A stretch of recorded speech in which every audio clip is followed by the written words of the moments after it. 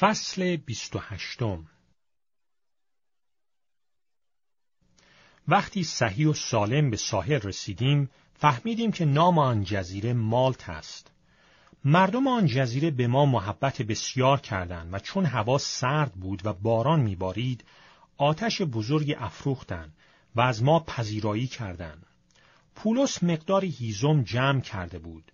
وقتی آن را روی آتش گذاشت به علت حرارت آتش ماری از میان آن بیرون آمد و به دست او چسبید.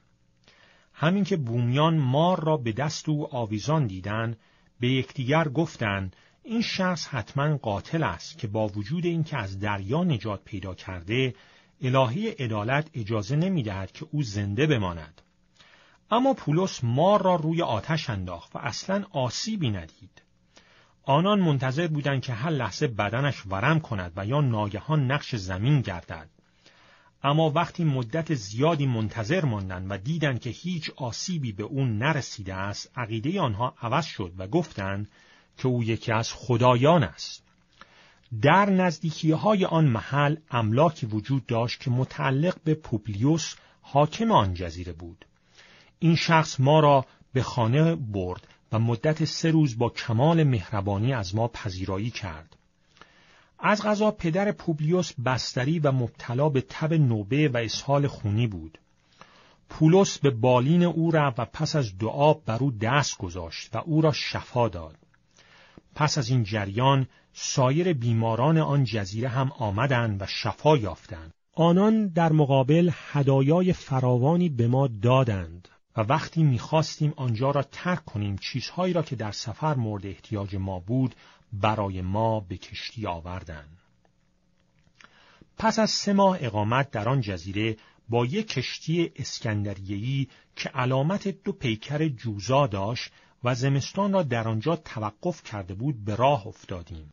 در شهر سراکیوس لنگر انداختیم و سه روز در آنجا توقف نمودیم.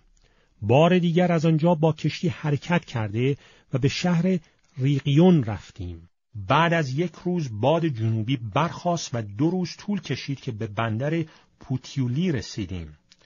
در آنجا برادران را پیدا کردیم و به دعوت آنان مدت یک هفته در آنجا ماندیم و به این ترتیب به روم رسیدیم.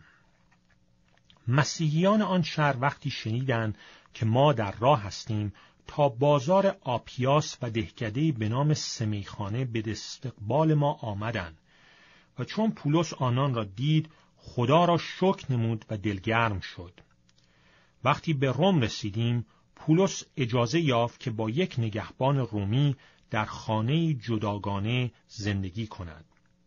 بعد از سه روز پولس رهبران یهودیان آنجا را دعوت کرد وقتی آنها جمع شدند به ایشان گفت ای برادران من که هرگز عملی علیه ملت و یا آیین پدرانمان انجام ندادم در اورشلیم دستگیر و تسلیم رومیان شدم. رومیان از من بازپرسی نمودند و می‌خواستند مرا آزاد سازند زیرا پی بردند که من هیچ کاری نکردم که مستوجب مرگ باشم. اما یهودیان مخالفت کردند و من هیچ راهی نداشتم جز اینکه از امپراتور دادخواهی نمایم.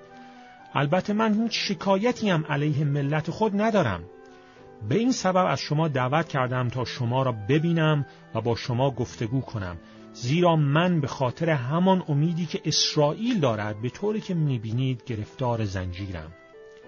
به او گفتند هیچ نامه‌ای درباره تو از یهودیه به ما نرسیده است و از برادران ما هم کسی به اینجا نیامده است که درباره تو گزارشی داده باشد و یا سخن بدی به زبان آورده باشد. اما ما مایل هستیم عقاید و نظرات تو را از زبان خودت بشنویم. آنچه ما درباره این فرقه جدید می‌دانیم آن است که همه از آن ایراد می‌گیرند. پس روزی را تعیین کردند و عده زیادی برای دیدن او به منزلش آمدند.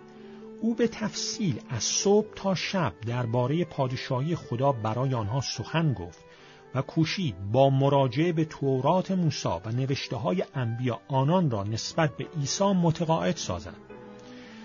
بعضی از آنها سخنان او را قبول کردند ایمان آوردند ولی دیگران در بی ایمانی خود باقی ماندند. آنها بدون آنکه بین خودشان توافقی حاصل شود متفرق گشتند. اما قبل از رفتن آنها پولس اظهار داشت روح القدس به وسیله اشعیای نبی به پدران شما چه خوب گفته است. پیش این قوم برو و به آنها بگو بسیار خواهید شنید ولی درک نخواهید کرد و پیوسته خواهید نگریست ولی نخواهید دید زیرا دلهای این قوم سخت و گوشهایشان سنگین و چشمانشان بسته شده است. مبادا با چشم خود ببینند و با گوش خود بشنوند و با قلب خود بفهمند. و برگردند و من آنان را شفا بخشم. پس بدانید که این نجات الهی در اختیار غیر یهودیان گذاشته شده است و آنها آن را خواهند پذیرفت. چون پولس این سخنان را گفت یهودیان رفتند و با یکدیگر به شدت مباحثه می‌کردند. پولس دو سال تمام در منزل اجارهی خود زندگی کرد و در خانهش به روی همه باز بود. او پادشاهی خدا را اعلام می کرد و درباره عیسی مسیح خداوند بسیار سریح و بدون هیچ مانعی تعلیم می